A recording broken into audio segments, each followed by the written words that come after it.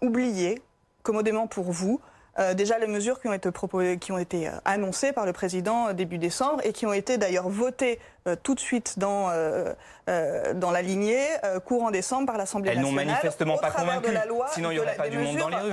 Des mesures d'urgence économique et sociale.